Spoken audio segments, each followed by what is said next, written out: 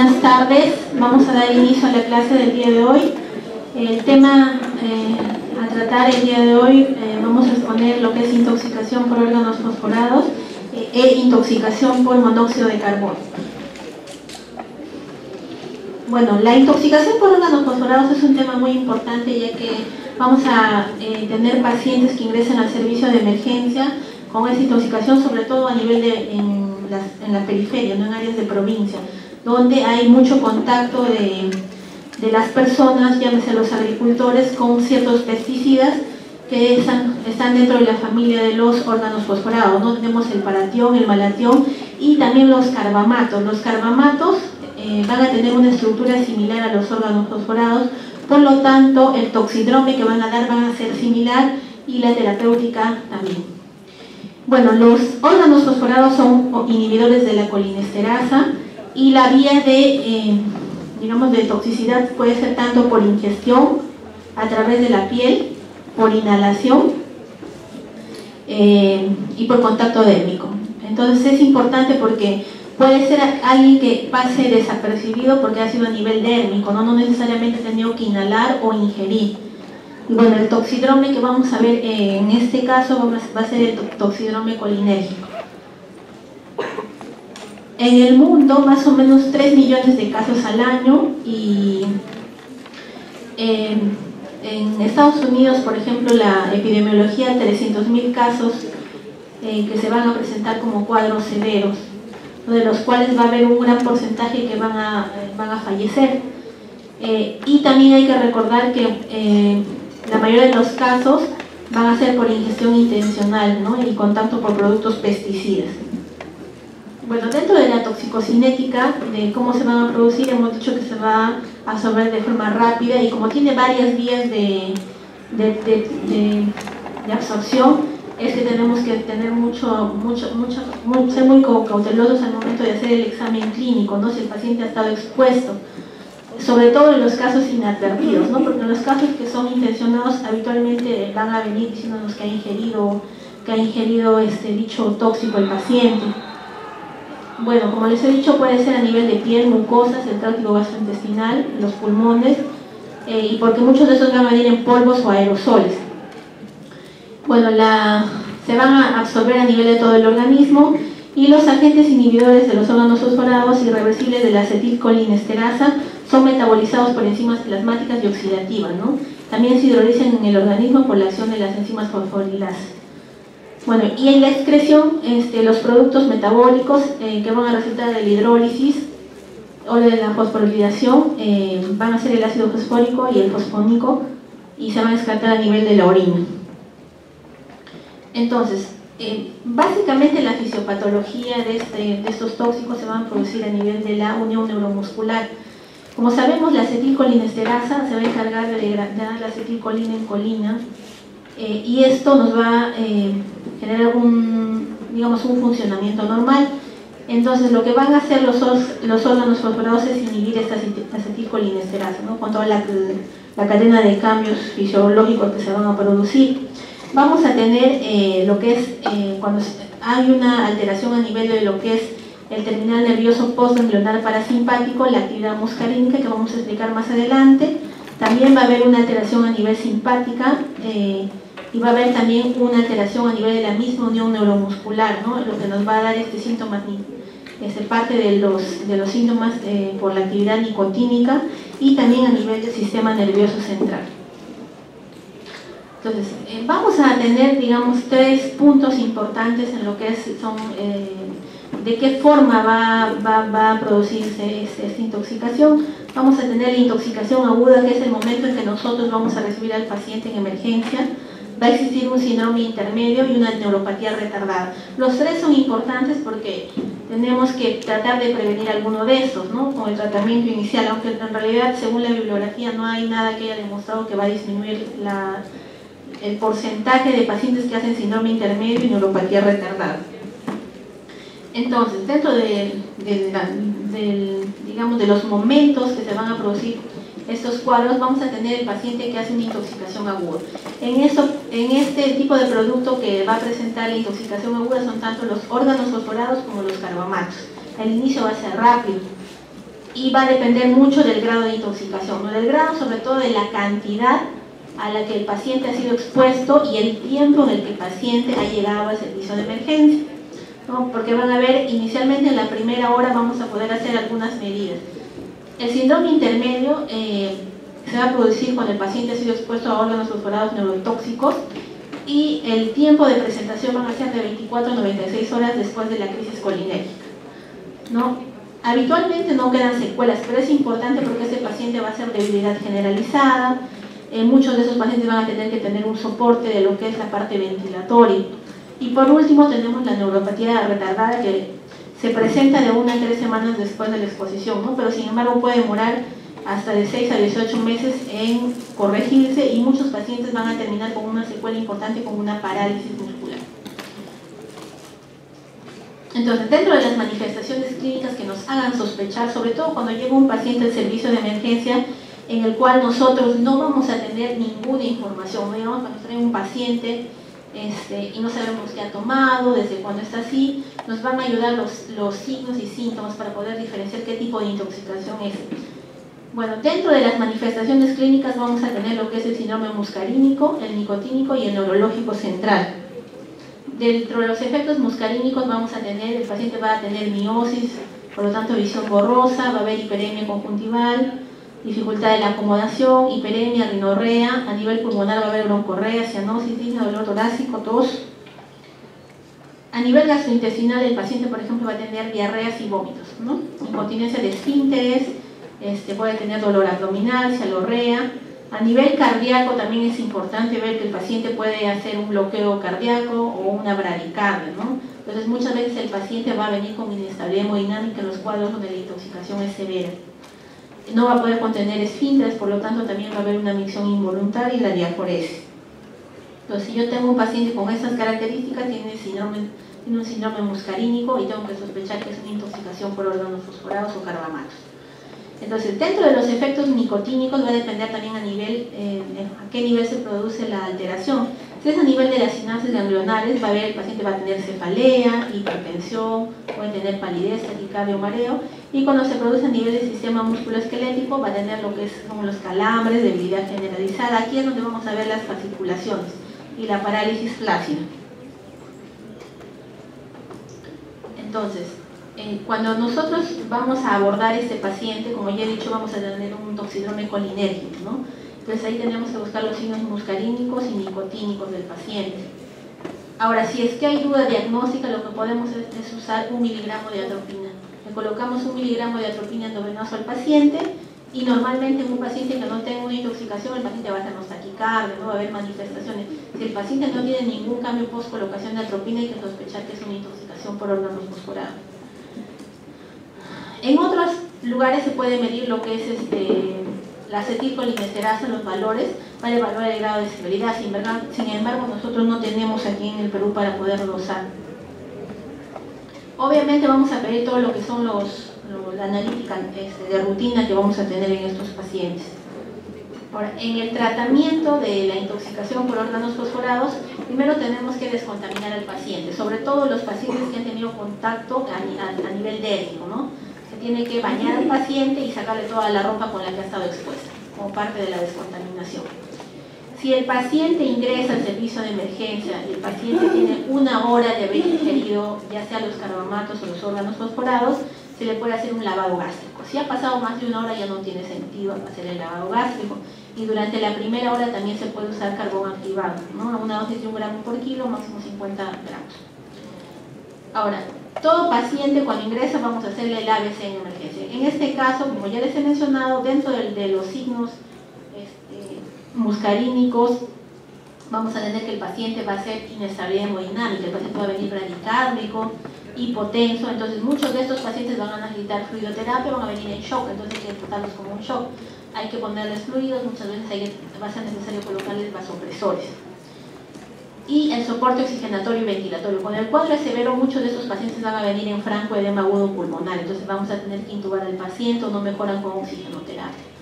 Entonces también son pacientes, los pacientes que tienen un cuadro severo terminan en ventilación mecánica. Y el tratamiento específico, vamos a tener el tratamiento con atropina. La atropina nos va a ayudar eh, como va, a tener un efecto anticolinérgico.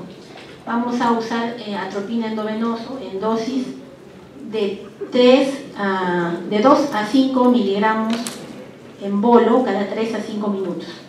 Entonces yo le tengo que colocar al paciente hasta que haya signos de atropinización, o sea que haya signos de que se está resolviendo el síndrome colinérgico. ¿Y qué signos son los que va a evaluar para decir si este paciente está correctamente ya atropinizado? Vamos a usar lo que es la parte pulmonar, más que la parte este, de la taquicardia o si el paciente va a empezar a hacer midriasis, vamos a ver la parte pulmonar. El paciente va a empezar a disminuir lo que son la broncorrea, va a mejorar este va a disminuir lo que es el broncoespasmo. Entonces, cuando el paciente tuvo auscultes y ya no tenga este, ruidos pulmonares, significa que el paciente ya está correctamente atropinizado. Ahora, la dosis en pacientes pediátricos es de 0.05 miligramos por kilo de peso. En algunos casos se puede colocar en infusión, sobre todo a los pacientes que van a estar, por ejemplo, en ventilación mecánica o está con inestabilidad hemodinámica. No hay un, digamos, una dosis tope de la atropina para nosotros decir solo hasta acá le vamos a colocar atropina habitualmente hasta que el paciente esté correcto, tenga signos de que ya está correctamente atropinizado, se sigue colocando la atropina. Si con las primeras dosis no es suficiente, se puede hasta triplicar el valor que se le va a colocar al paciente hasta que se atropinice. Ahora, conjuntamente con la atropina tenemos que usar el antídoto, que es las oximas, y en este caso es la pralidoxima. Ya la pralidoxima, este, deberíamos usar los dos. Lamentablemente aquí en el Perú no tenemos tampoco pralidoxima, pero sí, porque la pralidoxima en comparación de la atropina, la atropina nos va a servir más para el cuadro agudo, sin embargo la pralidoxima nos puede ayudar o, nos va, a tener cierto beneficio en lo que es el síndrome intermedio y en la neuropatía retardada. Entonces, la dosis de la pralidoxima que vamos a usar va a ser de 30 miligramos por kilo para el caso de los adultos y después se debe utilizar una infusión continua también Muchos de estos pacientes pueden hacer ya un síndrome convulsivo, ya como parte de una toxicidad a nivel del sistema nervioso central. Eh, entonces, para el manejo de las convulsiones, aquí recomiendan usar benzodiazepinas. Puede ser diazepam o midazolam, que tenemos en el medio. Ahora, respecto al pronóstico, eh, según la literatura, los pacientes que ingresan al, servicio de emergencia con un lasgo menor a 13 tienen todo el pronóstico. ¿no? Que un paciente que tiene todos los síntomas, sin embargo, no, no, tiene alteración del sistema nervioso central. Y al igual que cualquier otro paciente crítico, podemos usar todas esas escalas pronósticas que nos van a valorar mortalidad a los 28 días, ¿no? puede ser el Apache, el SAS, el MP, cualquiera de esas. Bueno, ¿hasta acá alguna pregunta? Una consulta, ¿en el manejo primero se descontamina o primero se hace ABC? Cuando el paciente ingresa al servicio de emergencia, primero tenemos que hacer el ABC. Pero la descontaminación se puede hacer ahí junto en la cama del paciente, o sea, no es que tampoco nos vaya a limitar, pero sí es importante descontaminar al paciente, porque como les, hemos, les he mencionado, la vía digamos, este, por contacto dérmico tiene una, o sea, tiene, es, es, de rápida absorción, entonces lo ideal sería descontaminar, pero obviamente si tenemos un paciente que llega claudicando o que está con franca insuficiencia respiratoria, primero vamos a tener que manejar la vía aérea, ¿ya? Y luego descontaminar al paciente. Muchas de las unidades de shock trauma tienen un ambiente donde se baña el paciente, ¿no? Pero estamos hablando de un paciente que está hemodinámicamente estable. ¿Alguna otra pregunta?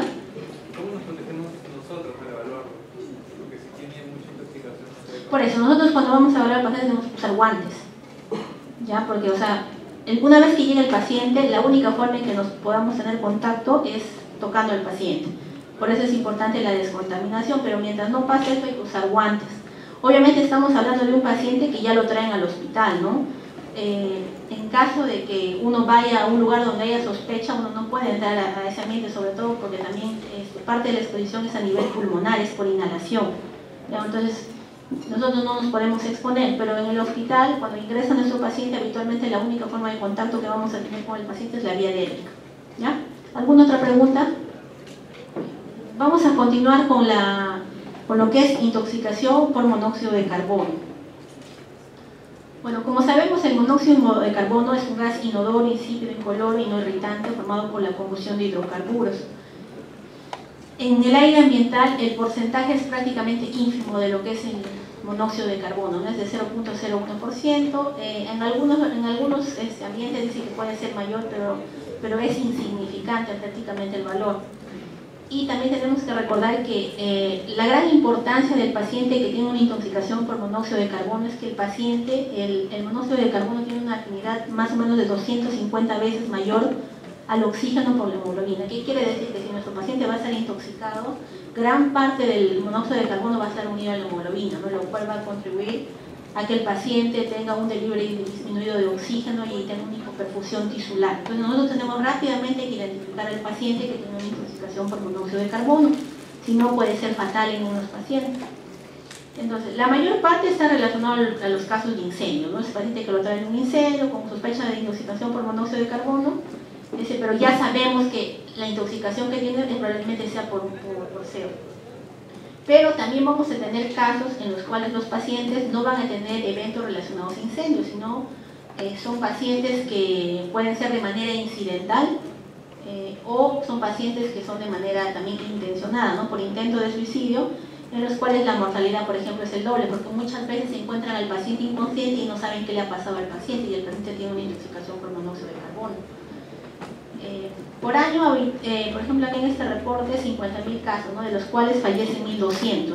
Entonces, por ahí que es muy importante que nosotros eh, podamos identificar precozmente al paciente que tenga esa intoxicación, porque en realidad la, la terapéutica es, es, sencilla, ¿no? pero hay que identificarlo rápidamente.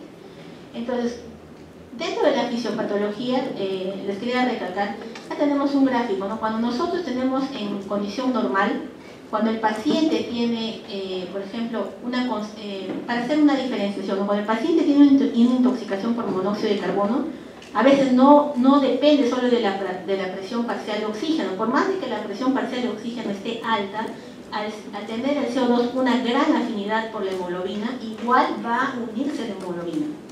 Es por eso que vamos a ver adelante qué tipo de terapéutica le podemos ofrecer al paciente.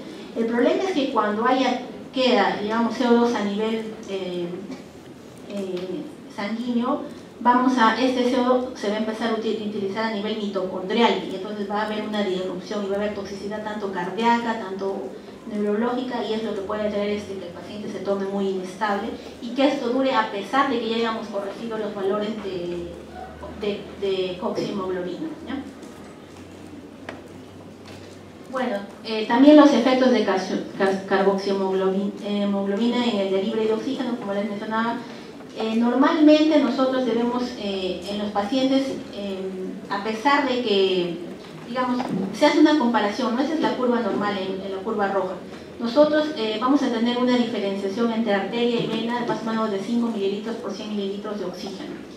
Pero en el paciente que, en el paciente que está intoxicado por CO2, esta, esta disminución va a ser muy abrupta, va a disminuir bastante. O sea, cuando el paciente tenga una intoxicación, este, en este caso, por ejemplo, está unida a la hemoglobina, el 50% está el monóxido de carbono unido a la hemoglobina, va a bajar abruptamente lo que es este, tanto la presión parcial de oxígeno y también lo que es el delivery este, de oxígeno eh, a nivel tisular, por lo tanto el paciente va a hacer hipoperfusión tisular. ¿no?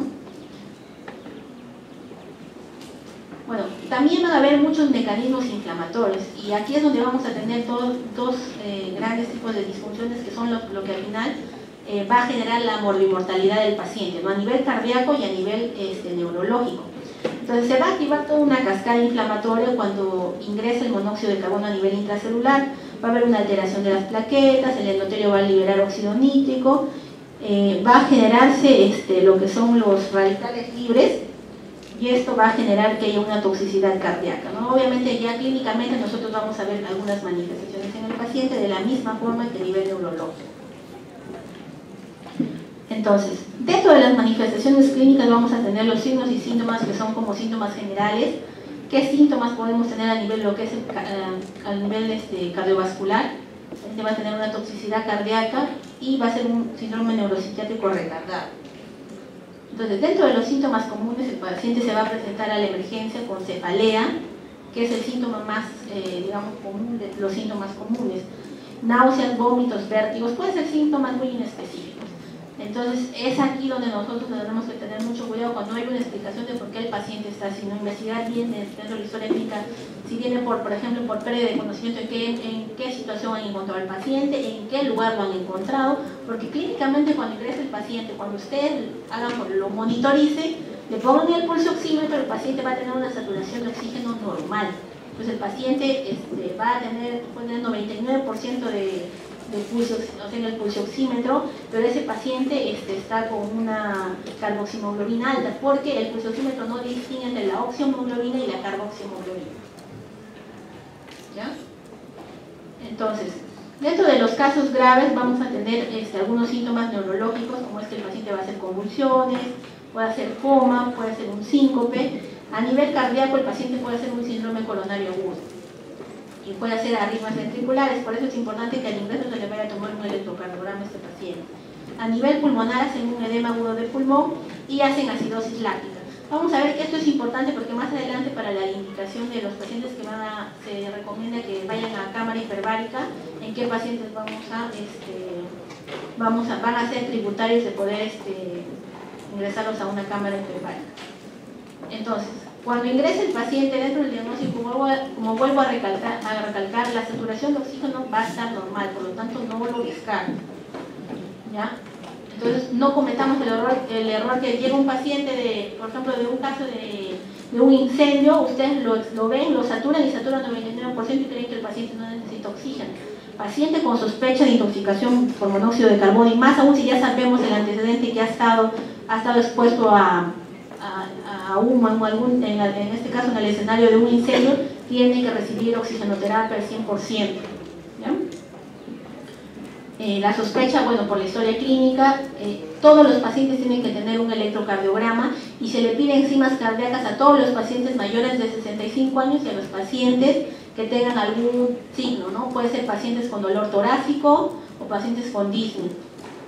Y como el paciente va a venir con trastorno de conciencia, y a veces la historia clínica no es adecuada, de todas maneras tenemos que hacer una tomografía encefálica para descartar algunas, algún otro tipo de causa, alguna causa orgánica del trastorno de conciencia. Bueno, dentro de la analítica este, está recomendado tomar un análisis de gases arteriales. Puede ser que en el análisis de gases arteriales la presión parcial de oxígeno esté normal, sin embargo eso no significa que el paciente tampoco vaya a ser tributario de oxigenoterapia. Todo paciente con intoxicación de monóxido de carbono va, va a ir a oxigenoterapia. Eh, y nos va a servir sobre todo para ver la carboximoglobinemia. Bueno, dentro del tratamiento vamos a tener lo que es el soporte hemodinámico para el paciente, por ejemplo, que tiene algún tipo de arritmia ventricular, pacientes con sospecha de un síndrome coronario agudo, y el soporte oxigenatorio y ventilatorio. Si el paciente tiene, por ejemplo, está en coma, ese paciente va a tener que ser sometido a intubación orotraqueal y ventilación mecánica. Por lo tanto, en esos pacientes se les va a administrar en el ventilador 100% de oxígeno. Si el paciente no es tributario de, un manejo de vía, vía, aérea avanzada, se le puede colocar una máscara de reservorio y se le coloca un fío de 100%. Y la cámara hiperbárica va a estar reservada para algunos pacientes, ¿no? pacientes en los cuales nosotros tenemos este, un valor de carboxiemoglobina mayor al 25%, y si es en caso de gestantes mayor al 20%. Si el paciente tiene acidosis severa o con un pH menor de 7.1 o el paciente tiene, ha perdido el conocimiento, no despierta o él tiene alguna evidencia de disfunción orgánica. Cualquier tipo de disfunción orgánica por la intoxicación tiene indicación de ir a cámara hiperbárica. ¿Por qué? Porque se ha demostrado que, por ejemplo, cuando el paciente tú le colocas una máscara de reservorio, el tiempo en el que la carboximoglobina disminuye al 50% es de 90 minutos y en la cámara hiperbárica es de 30 minutos. Entonces, la importancia es que no solamente una vez que, digamos, ya se corrigió el valor de carboximologina, ya está el paciente bien, no. porque si nosotros nos hemos demorado mucho tiempo va a pasar lo que va a tener una neuropatía retardada. El paciente va a hacer daño a nivel mitocondrial y el paciente puede ser que quede con una secuela para toda su vida, o sea, va a quedar con cualquier tipo de secuela neurológica. Entonces, paciente que se identifica tiene que inmediatamente, si se tiene alguno de esos criterios, debería ir a cámara hiperbárica. En algunas literaturas también dicen que si el paciente está intubado y no tenemos una cámara hiperbárica, podemos hacer una ventilación con una tendencia a que la presión parcial de CO2 esté en, su límite más alto, ¿no? en 40, que eso también ayuda a disminuir la carboxilación. Acá está la bibliografía, eso sería todo. ¿Alguna pregunta?